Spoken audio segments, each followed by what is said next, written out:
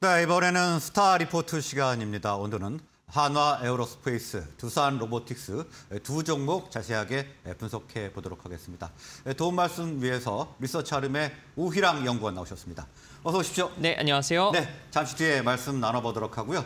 자, 유진투자증권의 양승윤 연구원 전화로 연결되어 있습니다. 자, 연구원님 나와 계신가요? 네, 안녕하십니까. 네, 안녕하십니까. 자, 오늘 두 종목 분석을 해 볼 텐데요. 먼저 한화 에어로스페이스부터 알아보죠. 네, 분석을 해 주시죠. 네, 어, 일단은 먼저 한화 에어로스페이스 주요 사업에 대해서 좀 간단하게 설명을 드리겠습니다. 어, 한화, 에어, 한화 에어로스페이스는 항공기라든지 뭐 선박에 들어가는 엔진 이런 것들을 만들고 있고요.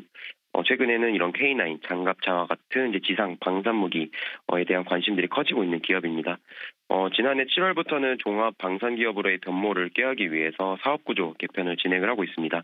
자회사였던 한화 파너 한화 파워 시스템 그리고 한화 정밀 기계를 매각을 하고 주 한화 방산으로부터 주 한화로부터 방산 부문을 인수를 하고 또 한화 디펜스를 흡수합 흡수합병 그리고 대, 대우조선 해양 인수를 진행을 하고 있는 상황입니다.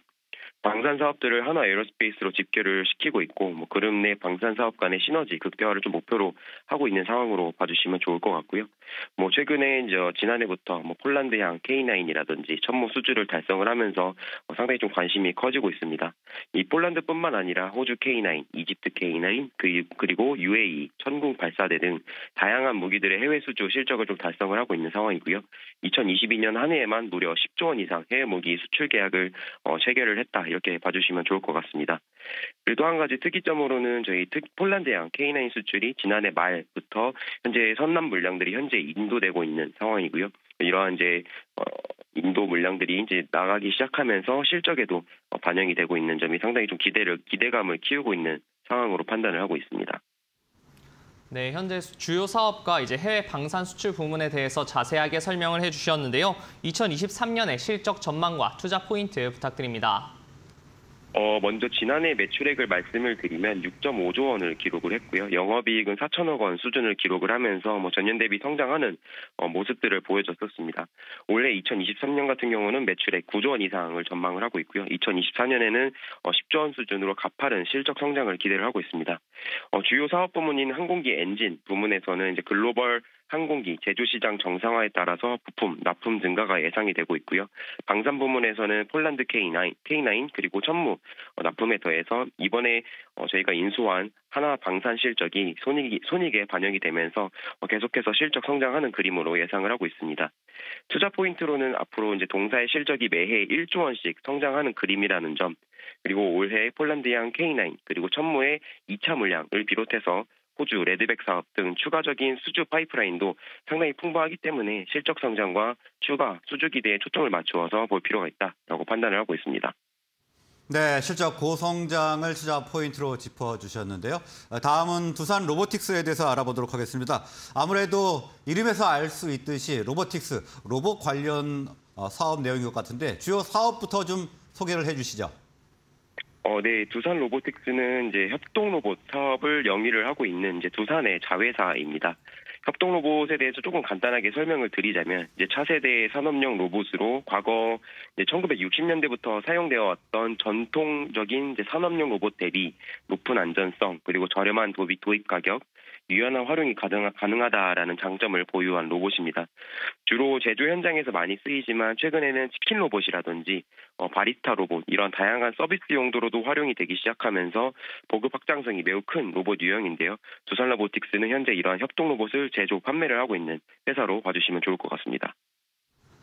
네, 두산 로보틱스 같은 경우에도 해외 판매 비중이 상당히 높은 것으로 알고 있는데 주요, 제, 주요 지역에 대한 매출과 앞으로의 판매 전망 소개 부탁드립니다.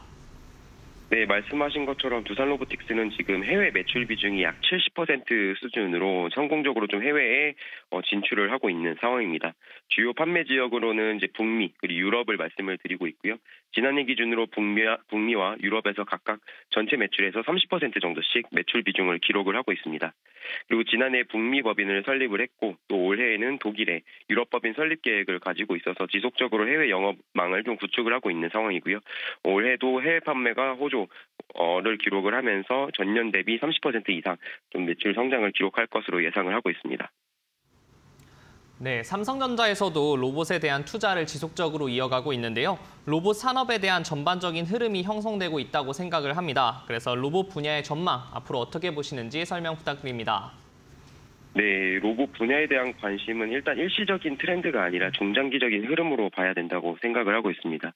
뭐 노동력 부족이라든지 인건비 상승과 같은 사회 구조적인 변화에 따라서 뭐 로봇에 다- 대한 수요가 커지고 있고 이러한 로봇 수요와 증 로봇 수요 증가와 함께 시장이 열리면서 대기업들도 본격적으로 시장에 뛰어들기 시작한 것으로 판단을 하고 있습니다.